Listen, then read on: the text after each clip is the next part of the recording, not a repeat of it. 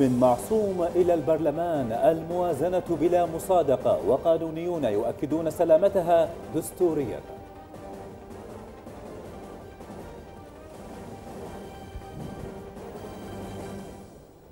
بعد خضوعها للسلطة الاتحادية بغداد تسمح لطائرات أربيل والسليمانية بالتحليق في السماء الدولية.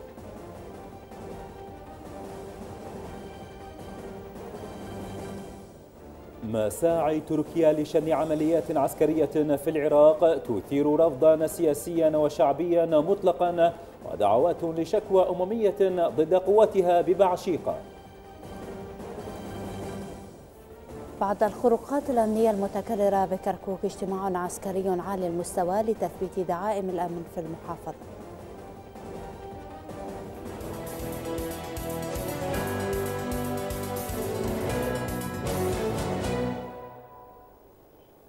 السلام عليكم. لقد أبحرت في محيط الخلافات ولما أخذها شراع الإقرار نحو ساحل الأمان اصطدمت بجبل الجليد. اصطدام أرجعها إلى حيث نقطة الانطلاق بلا مصادقة. أنها الموازنة التي لم تجد من ينصفها في بلد تكثر فيه القوميات والانتماءات وتتدخل فيه الأجندات. فلا عجب أن اختل ميزان إحدى كفتيه الوطنية والأخرى الانتماء للقومية. فالرئيس ليس معصوما كغيره من البشر خصوصا إذا ما تعلق الأمر بنسبة الشمال من الموازنة.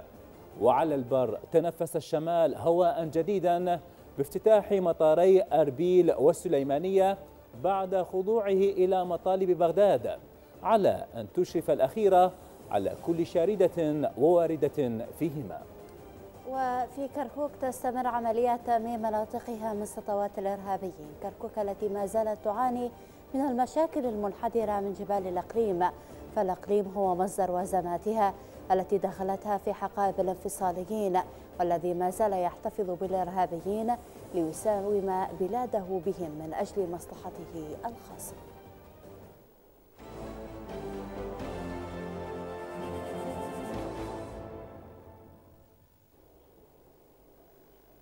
حياكم الله مشاهدينا الكرام وإليكم تفاصيل نشرة السابعة من بلاد الفضائية. أهلا بكم. رفض رئيس الجمهورية فؤاد معصوم المصادقة على موازنة عام 2018 بيان لرئاسة الجمهورية أوضح أن معصوم قرر إعادة قانون الموازنة إلى مجلس النواب لوجود نحو 31 فقرة فيها تتقاطع مع التشريعات النافذة بحسب ما جاء في البيان. مشيرا إلى أن إعادة الموازنة جاءت بعد قيام خبراء أو مستشارين قانونيين وماليين بدراستها تفصيليا لتشخيص أهم المخالفات قبل المصادقة عليها.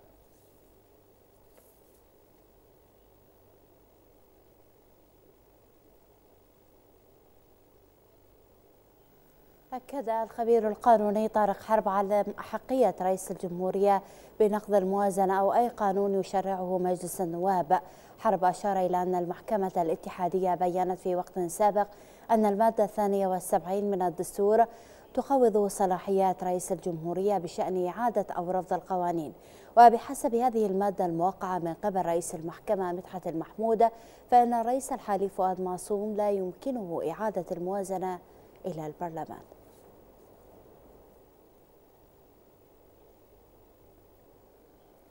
تعطيل تمرير الموازنة المالية لعام 2018 ورفض المصادقة عليها من قبل رئيس الجمهورية فؤاد معصوم.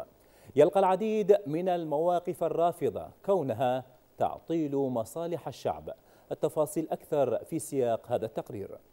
تعطيل رئاسة الجمهورية المصادقة على الموازنة المالية بالرغم من وصولها عبر مجلس النواب بحجة بحث بعض الأخطاء الفنية والدستورية جاء رفض تمريرها من قبل رئيس الجمهورية فؤاد معصوم والذي أعادها إلى البرلمان مشيرا إلى وجود نحو 31 نقطة فيها تتقاطع مع التشريعات النافذة بحسب وصفه.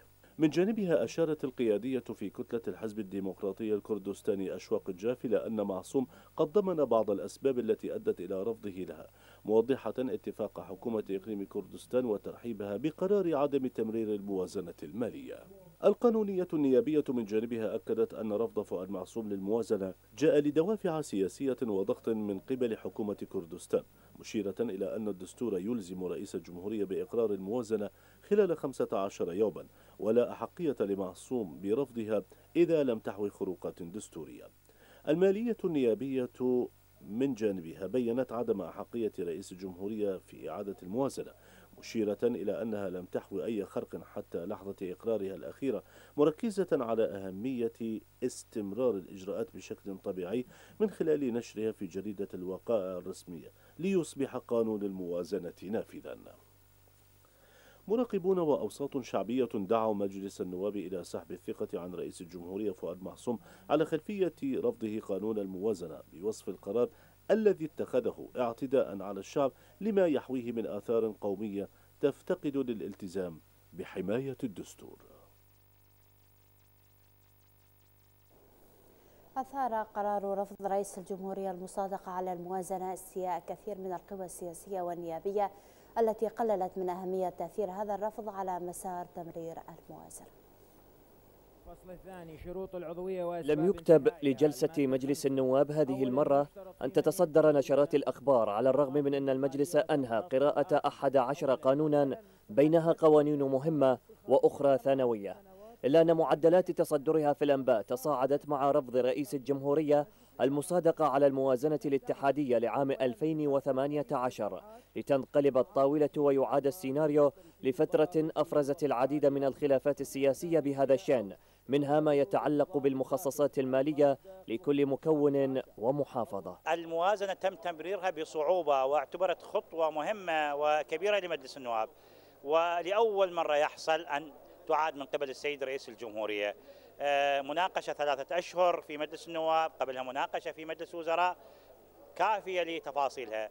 مهام رئيس الجمهورية بهذا الصدد تكاد تكون شكلية لكنه ارجاعها لمجلس النواب أعتقد أنها خطوة تحتاج إلى مراجعة. أوساط نيابية أشارت إلى أن رفض معصوم المصادقة على الموازنة جاء بدوافع سياسية يضاف لها ضغوطات صندوق النقد الدولي ورفضه الموازنة إلا أن ملامح الرفض الأكثر وضوحا تتعلق بالجانب السياسي والانتماءات الحزبية ولا سيما أن الجمهورية قد شهدت في وقت سابق حراكا من قبل بعض الأوساط الكردية طلبا منها لعرقلة المصادقة لحين تنفيذ مطالب الإقليم المتعلقة بالمخصصات المالية. هذا الرفض متأتي بسبب التحفظات التي ذكرناها سابقا بسبب اتجاه سياسة الدولة للاقتراض من البنك الدولي. اليوم نحن أمام مطب كبير آه، يتعلق بإعادة تعديل هذه الموازنة سواء كان من الحكومة أو مجلس نواب لأنه أعلن السيد رئيس مجلس نواب بأن هذا اليوم هو اليوم الأخير وما يتم فيه بالأيام اللاحقة سيكون بجلسة استثنائية محدد لقضية واحدة وتزعم رئاسة الجمهورية وجود 31 مادة تخالف التشريعات النافذة ضمن مشروع القانون وعلى أساسها رفضت الموازنة وعادتها لمجلس النواب بهدف مراجعة مضمونها. فهل سيكون هذا الرفض شكليا؟ أم سيكون عقبة جديدة تعرقل المصادقة بهدف إرضاء بعض الأطراف؟ عبد الله نوري بلاد الفضائية. بغداد. وينضم الآن إلينا عبر الهاتف عضو اللجنة القانونية النيابية النائبة حمدية الحسيني. أهلا بك سيادة النائبة. بداية نتحدث قانونيا. هل لدى رئيس الجمهورية صلاحيات عدم المصادقة على الموازنة بحسب ما جاء في بيان رئاسة الجمهورية؟ تفضلي. نعم. آه السلام عليكم ورحمة الله. وعليكم السلام. استنادا إلى المادة 73 آه، ثالثا من الدستور العراقي فإن صلاحية رئيس الجمهورية هي فقط المصادقة على القوانين ولا توجد لديه أي صلاحية بنقض القوانين كما يعني أقرت باقي الدساتير الصلاحية فقط من المادة الثالثة هو أنه المصادقة على القوانين التي يسنها مجلس النواب العراقي آه، وفي حالة عدم المصادقة فإن القانون يعتبر مصادقا عليه خلال فترة 15 يوم آه، من تاريخ تسلمه. يعني فأي حق للنقض لا يوجد. نعم لا لا. طيب سيادة النائبة يعني في ظل هذا الموقف من قبل رئيس الجمهورية أيضا هناك أوساط نعم. برلمانية دعت إلى قانونية التصويت على الموازنة والإعلان عنها في جريدة الوقائع. يعني هذا الإجراء نعم. هل يعتبر هو أمر جائز وبالتالي موضوع الموازنة هو قرار حسم ولا عودة فيه؟ نعم بالنسبة لموضوع الموازنة آه، هو قرار أصدر بموجب قرار صدر القانون آه، تم التصويت عليه والتصويت هو صحيح ووفق السياق الدستوري إنه القوانين اللي يشرعها مجلس النواب تمر بمصادقه رئيس الجمهورية. إذا ما صادق عليه راح تعتبر يعني آه، بحكم المصادقه عليه بعد مرور 15 يوم ومن ثم يتم نشرها بالجريده الرسميه. أي حق للطعن لا يوجد إلا فقط إنه في حالة بعد نشرها بالجريده الرسميه إنه يحق برئيس الوزراء أن يطعن إذا يريد يطعن، لكن يعني لو تسألني هل رئيس الجمهورية صلاحية يعترض على القوانين اللي يسنها مجلس النواب؟ يعني لا توجد هكذا صلاحية ليس فقط بالنسبة للموازنه وانما تجاه أي قانون يصدره مجلس النواب رئيس الجمهورية ليست لديه هذه الصلاحية. وإنما صلاحيته فقط إنه يصادق عليها ويرسلها إلى جريده الوقايه العراقية. نعم. وأنا أعتبر طبعا هذا القرار قرار يعني سياسي وليس آه، قانوني وليس دستوري وإنما آه، حقيقة لأنه الأكراد معظمهم يعني نعرف انهم تركوا يعني الجلسة الخاصة بالموازنة لم يحضر الجلسة بالتالي هو يعتبر هذا موقف تضامنا مع يعني الأكراد ولا أكثر يعني. طيب سيادة النائبة ما جاء في بيان رئاسة الجمهورية في هذا الموضوع تحدث نعم. عن وجود يعني بعض المخالفات ببعض فقرات الموازنة كيف نعم. تعلقون نعم. يعني عن هذه يعني الادعاءات نعم. إذا صح التعبير في حالة وجود أي مخالفة لل يعني قانون الموازنه هذا الأمر بالإمكان معالجته من خلال الطرق القانونية وهو إنه من حق رئيس الوزراء أو أي جهة تتضرر آه، من إقرار قانون الموازنه ان تطعن بهذا القانون، يعني أي جهة بامكانها رسميه رئيس وزراء أو أي جهة يعني مثلا آه، وزارات أي جهة رسمية بإمكانها تتضرر من قانون الموازنة بإمكانها وتقول هذا غير دستوري أحد فقراته بإمكانها أن تفعل لدى المحكمة الدستورية، يعني هو هذا لكن لكن, لكن سيادة النائبة يعني في ظل ما تبقى من عمر مجلس النواب، هل هو كاف للتعديل على الموازنة في حال يعني وجود يعني هذه المخالفات؟ أعتقد إنه هذا الأمر يعني قد فات أوانه. يعني اليوم اجتمعنا وقررنا يعني آه، آه، يعني الكثير من القوانين المهمة ولم يبقى إلا القليل من أمر مجلس النواب ثم راح تصير انتخابات. آه، فأعتقد انه ما وقفت فترة كافية إنها ترجع الموازنة. يعني هو أصلا هذا مو مو أمر دستوري مو أمر قانوني إنه ما ما يعني ما يصادق عليها جميل. القانون الدستور رسم طريق إنه في حالة إحنا نعتبره الآن هو ما صادق. نعم في حالة عدم مصادقته فهنا خلال 15 يوم هو راح تعتبر هي أصلا مصادق عليها. نعم يعني طيب. حتى لو ما مصادق اذا وصلت نعم. الفكرة سيادة النائبة حمدية الحسيني عضو اللجنة القانونية النيابية. كنت معي عبر الهاتف. أشكر لك هذا التواصل وأتمنى لك التوفيق. أعلن رئيس الوزراء حيدر العبادي إعادة افتتاح مطاري أربيل والسليمانية للرحلات الدولية. العبادي وخلال لقائه ضباط وزارة الداخلية العاملين في مطارات أقليم كردستان قال أنه سيتم تشكيل لجنة تضم ممثلين عن جميع السلطات المعنية في المركز والإقليم للإشراف على إدارة مطارات الإقليم ومنافذه. استجابة الإقليم من قبل الإقليم لأن تنتقل السلطة إلى السلطة الاتحادية في المجال الجانب الدولي من المطار. وأيضا خدمة للمواطنين في الإقليم، نريد نسهل هذا واجبنا نسهل على المواطنين في الإقليم. وإحنا ولو بالسابق وافقنا على حالات إنسانية في السفر الدولي وهذا كان ضمن الأمر الذي صدر سابقا. بس اليوم نفتح إن شاء الله السفر لجميع المواطنين في الإقليم للسفر من الجانب الدولي من المطار. وضمن الأمر الديواني أنا يمكن خليت فترة أسبوع واحد اللي هو الآن قربت على الانتهاء. المفروض خلال يومين أنا أنتظر كل هذا هؤلاء السادة المسؤولين من عسكريين ومن مدنيين آه، من دائرة جوازات اللي هي المفروض اتحادية نظام التدقيق الجوازات اللي هو البايسز أيضا اتحادي يربط اتحاديا آه، بالإضافة إلى الجمارك يجب أن يكون هناك تنسيق وتعاون في هذا الإطار. أكد سعد الحديثي المتحدث باسم المكتب الإعلامي لرئيس الوزراء أن الحكومة ماضية بفرض سيادتها على جميع المناطق المتنازع عليها بشكل سلس.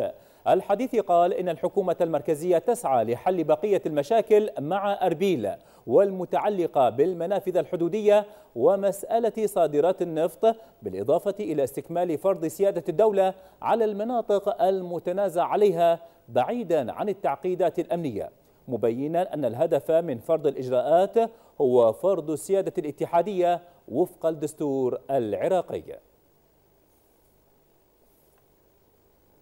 أهمية إيجاد حلول حقيقية ما بين الحكومة المركزية وأقليم كردستان لإنهاء المشاكل العالقة.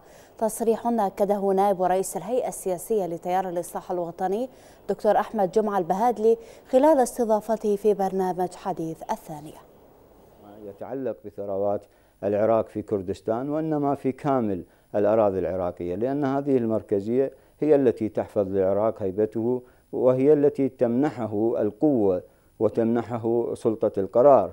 لذلك الاشتغال المركزي أنا من دعاة التأكيد عليه وأنا أيضا أؤكد على أهمية آه، التفاوض وإيجاد حلول حقيقية ما بين الطرفين. صراع الثروات ليس هو المطلب الحقيقي والمطلب الحقيقي عند الجماهير وعندنا نحن في تيار الإصلاح الوطني أن نقوم بإعادة بناء البلد وأن نقوم ببث روح الهوية الوطنية بعد أن تجاوزنا الهوية الطائفية المقيتة. دعت حركة تغيير الكردية الحكومة الاتحادية إلى رفع شكوى رسمية للأمم المتحدة بشأن التواجد التركي في العراق. النائب عن الحركة كاوى محمد شدد على أن التواجد التركي على الأراضي العراقية يأتي ضمن مشروع الإمبراطورية العثمانية والتي عاد الحديث عنها بين الأوساط التركية. مطالبا باستخدام كل أوراق الضغط الممكنة اقتصاديا وسياسيا لإنهاء هذا التواجد غير الشرعي في العراق. على خلفية المساعي التركية لشن عمليات عسكرية داخل العمق العراقي بحجة مطاردة إرهابي داعش والعمال الكردستاني طلبت أوساط سياسية ونيابية. الحكومة العراقية باتخاذ موقف واضح وحاسم لحماية سيادة البلاد. القيادات التركية لتنفيذ رغبتها ببدء عمليات عسكرية في حدود العراق وبعض عمقه الشمالي المجاور لتركيا. هو استحصال الموافقة الحكومية العراقية لبدء عمليات ضد داعش ومقاتلي حزب العمال الكردستاني. لم يكن ذلك الشرط ذا قدرة على إقناع الجهات السياسية والشعبية في البلاد على قبول دخول الآلة الحربية التركية للأراضي العراقية.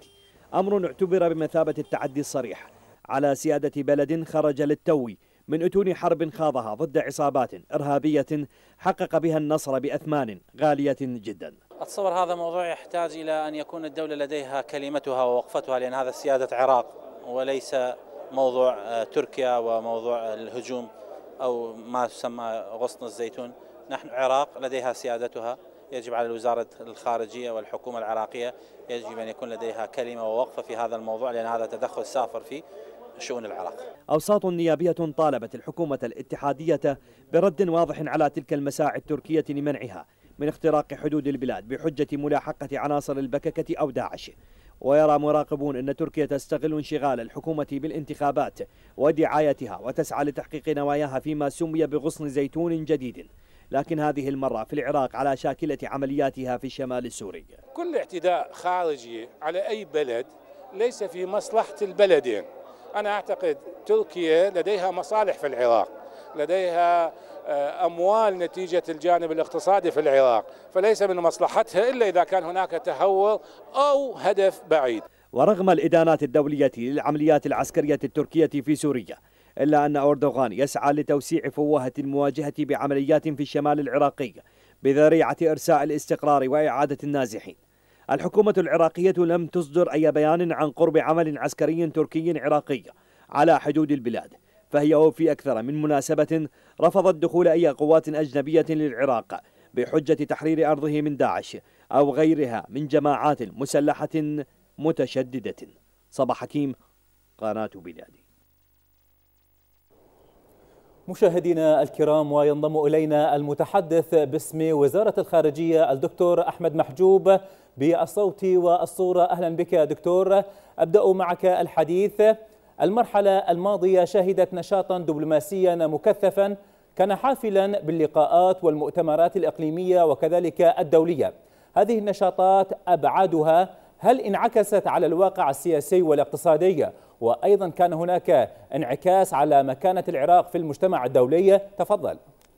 شكرا جزيلا على الاستضافة. بالتأكيد آه، العراق وخلال الفترة الأخيرة وتحديدا عندما أقول الفترة الأخيرة فأعني بذلك مرحلة ما بعد داعش ما بعد النصر الذي حققه العراق في هذه المعركة التاريخية الضروس. آه، استطاع العراق أن يبدأ بحصاد الإنجازات الدبلوماسية الكبيرة التي تحققت خلال الفترة التي سبقتها. كما تعلم ويعلم المشاهد الكريم أن العالم وقف إلى جانب العراق آه، في حربه ضد الإرهاب الدبلوماسية العراقية آه، بقيادة آه، معالي الدكتور إبراهيم الجعفري المتوازنة والحكيمة في إدارة هذا الملف المهم والحساس من ملفات الدولة العراقية استطاع أن يتقدم بشكل سريع ومضطرد ومقنع للعالم خلال الفترة الماضية ونتائج ذلك أسفرت عن تعاون لا محدود بين بيننا وبين العالم. التحالف الدولي وقف إلى جانب العراق في مقابل ذلك هناك دول خارج التحالف الدولي من الدول الكبرى والمهمة مثل روسيا الاتحادية وقفت إلى جانب العراق كثير من الدول العربية وعلى غير عادتها التي سبقت في إدارة سياسة إدارة الظهر أقبلت في التعاون مع العراق خلال الفترة الماضية ومن بينها نعم. دول الخليج آه، إضافة إلى آه، تعاون الجمهورية الإسلامية وتركيا وأكثر وبل كل دول العالم وقفت إلى جانب العراق في معركته نعم. ضد الإرهاب حتى انتصر آه، على داعش. طيب دكتور بالحديث يعني عن الوضع الأمني كيف تنظرون للمساعي التركية لشن عمليات عسكرية داخل الحدود العراقية بحجة ملاحقة الدواعش والبككة؟ هل صحيح أن هناك تنسيق تركي عراقي بهذا الشأن؟ كما تدعي أنقرة. تفضل. آه، يعني آه، آه، للدقة وزارة الخارجية العراقية الملف الأمني خارج صلاحياتها كما تعلمون أن الاتفاقيات العسكرية التي تبرم بشكل ربما خاص أو سري أو حوارات أمنية أو عسكرية تجري هذه الحوارات ما بين رئاسة الحكومة وما بين الدول الأخرى. ولكن آه، لي أن أقول أن العراق لديه سياسة آه، آه، واحدة وواضحة تجاه علاقتنا بجيراننا وأصدقائنا وكل دول العالم تقوم على أساسين مهمين.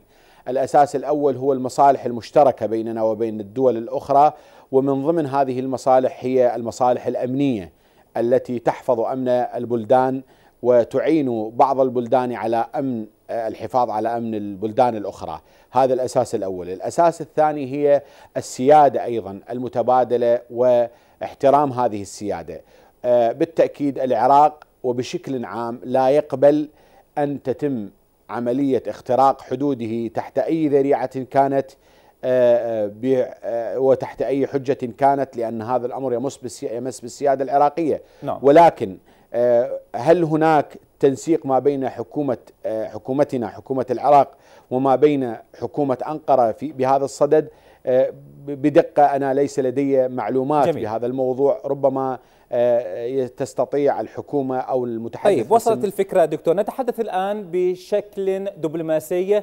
هل ما زالت الخارجية العراقية متمسكة بمرشحها الدكتور صفاء الصافي لمنصب الأمين العام المساعد للجامعة العربية؟ وأيضا هناك تساؤل آه، ما هي الدوافع وراء الحملة الإعلامية التي تمارسها بعض القنوات الفضائية بخصوص هذا الموضوع؟ طبعا من المستغرب أن يعني تشن هذه الحملة على وزارة الخارجية والعجيب أن البعض لا يدرك يعني حقيقة آه، صلاحية الترشيح في قضية آه، المناصب الخاصة والكبيرة في الجامعة العربية. آه، كما يعلم المتخصصون أن صلاحية الترشيح لهذه المناصب هي من اختصاص مجلس الوزراء والحكومة العراقية. وردنا يوم ثلاثة يوم الخميس الماضي ترشيح يعني يوم ثلاثة ثلاثة عفوا ترشيح السيد الصافي السيد الوزير وجه بوزارة الخارجية ومسؤولي الملفات ذات العلاقة ومندوبيتنا في جمهورية مصر العربية لمتابعة هذا الترشيح وهذا الملف. وبالتأكيد تحركت الجهات في وزارة الخارجية تبعا للتوجيهات التي بلغتنا من الأمانة العامة لمجلس الوزراء لدعم هذا الترشيح. وحصل الدكتور الصافي على إجماع مجلس المندوبين آه، وهذا يعني آه، يعني آه، إعطاء المنصب للعراق وللدكتور الصافي تحديدا.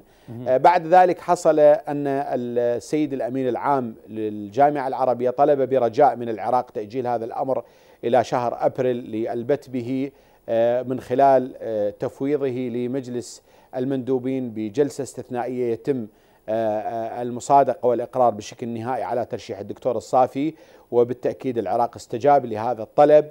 ما زلنا متمسكين بمرشح العراق الذي هو مرشح الحكومة العراقية ونستغرب بشكل آه، يعني آه، يعني بشكل كبير جدا التصريحات التي وردت من الأخ الدكتور آه، جواد.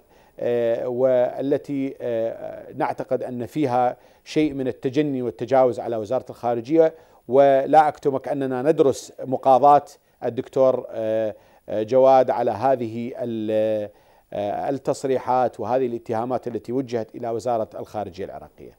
نعم طيب دكتور نستثمر هذا التواصل معك وهناك تساؤل إلى أين وصلت جهود وزارة الخارجية في موضوع نقل جثامين العائلة العراقية التي تعرضت لحادث سير في السويد يعني ونقل الجثامين إلى العراق. يعني يمكن بعد ساعة من الحادث آه، آه، اطلعت آه، سفارتنا في ستوكهولم سعادة السفير الأخ أحمد الكمالي آه، اتصل مباشرة بمعالي السيد الوزير وجه الدكتور الجعفري بشكل مباشر إلى آه، آه، تحريك طاقم السفارة بالكامل للدعم يعني هذا الأمر وإحاطة هذه العائلة أو ذويها من الذين نجوا من الحادث وهم أطفال بالرعاية للأسف الشديد الوالدين في هذه العائلة توفوا لقوا حتفهما رحمهم الله. وجه معالي الدكتور الجعفري بنقلهما مباشرة آه، طبعا وعلى حساب وزارة الخارجية العراقية إلى العراق. وترتيب آه، وضع آه، الأطفال ريثما تكتمل أوراقهم الرسمية لإيصالهم إلى ذويهم في العراق. نعم. ومعالي الدكتور الجعفري يتابع هذا الأمر شخصيا عن طريق سفير جمهورية العراق في ستوكهولم. نعم. إذا كان معي مباشرة بالصوت والصورة المتحدث باسم وزارة الخارجية الدكتور أحمد محجوب. شكرا جزيلا لك. بارك الله أكد النائب عن التحالف الوطني كامل الزيدي أن بقاء القوات الأمريكية في العراق سيعقد المشهد السياسي. الزيدي قال إن القوات الأمريكية تحاول التواجد بأي طريقة في العراق مشيرا إلى أن مجلس النواب اتخذ قراره وأبلغ الحكومة بوضع جدولة لخروج القوات الأجنبية من العراق.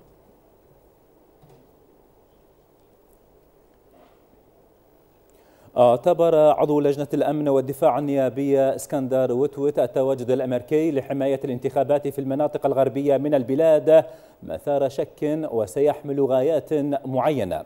وتوت بين أن حماية مراكز الاقتراع هي من مهام القوات الأمنية لإنجاح التجربة الديمقراطية في البلاد مشيرا إلى أن التواجد الأمريكي بحسب إعلان القائد العام للقوات المسلحة الدكتور حيدر العبادي سيكون على شكل متدربين ومستشارين فقط. هذا وهذا الأمر يثير الخلاف حول تواجدها خلال العملية الأهم في البلاد والتي تبنى على إثرها الحكومة القادمة ويحدد مصير الدولة.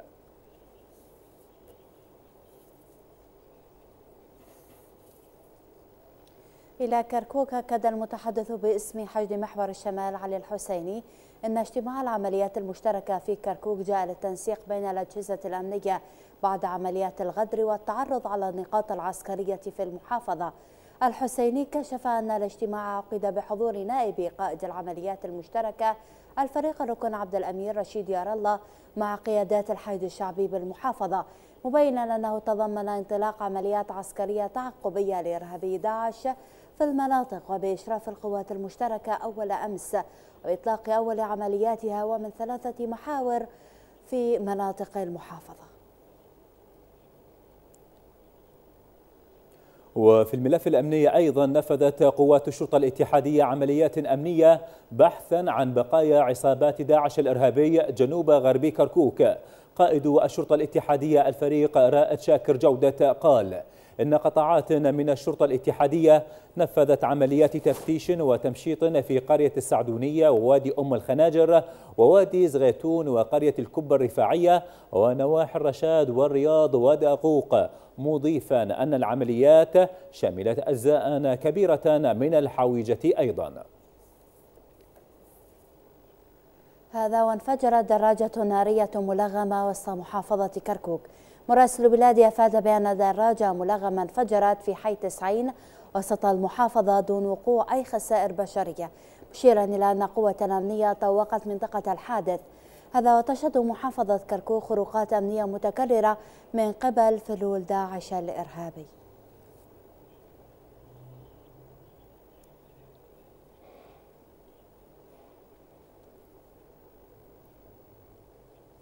وينضم معنا عبر سكايب عضو مجلس قضاء الحويجة الأستاذ أحمد خورشيد. أهلا بك أستاذ أحمد. نتحدث عن الخروقات الأمنية التي تحدث بين الحين والآخر في كركوك. عموما آه، والحويجة خصوصا كيف تصف لنا الوضع الأمني في المحافظة؟ تفضل. نعم. آه، بالنسبة للخروقات الأمنية منذ تحرير الحويجة والخروقات الأمنية آه، مستمرة وستبقى مستمرة. في ظل عدم إعازة النازحين وعدم وجود قوات عسكرية كافية لتغطية المنطقة لأجل محاربة ومتابعة داعش. وكذلك القوات الموجودة في هذه المناطق لا تستطيع تغطية كل المناطق العسكرية وهو قيام داعش خلال ثلاث سنوات في جبال حميد ومكحول بحفر الأنفاق هذا هذا الأنفاق يختبئون بها ويخرجون بين حين وحين لقيام باعمال إجرامية وآخرها قبل يومين باستهداف عائلة وتم قتلهم وحرقهم وفي وبينهم امرأة حاملة في شهرها السابع. هذه العمليات داعش يستهدف السني والشيعي والكردي والعربي وقوات الأمن وقوات الشرطة وكل القوات الموجودة.